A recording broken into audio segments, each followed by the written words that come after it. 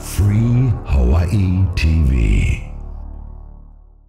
Aloha Aina. I'm Ehu Kekahu Cardwell with the Koani Foundation here on Free Hawaii TV, a part of the Free Hawaii Broadcasting Network. Every now and then, something small comes along that exposes something larger for the big lie that it is. And that is what has now happened right here in Hawaii.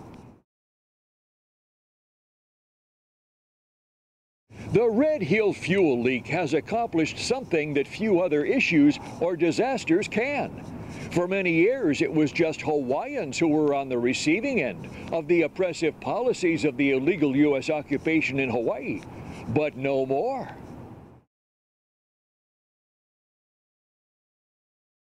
U.S. military families, their own people, have had to go to Capitol Hill in Washington, D.C. to demand something be done, since the U.S. military refuses to empty the Red Hill fuel tanks.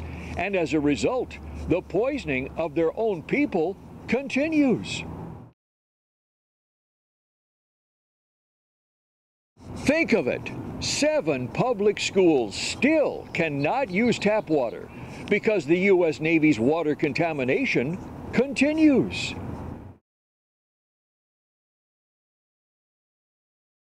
The U.S. Navy refuses to act because they claim they need those tanks full of jet fuel to keep their military aircraft active.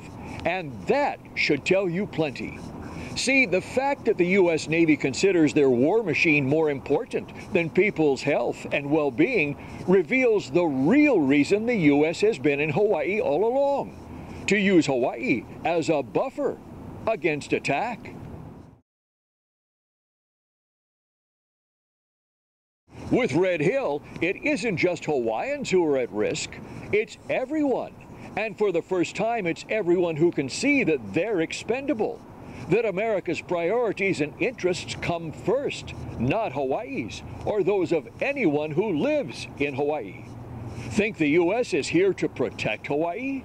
Red Hill has exposed that big lie because you can now see they're using Hawaii to protect the U.S. instead. I'm Ehu Kekahu Cardwell with the Koani Foundation right here on the Free Hawaii Broadcasting Network.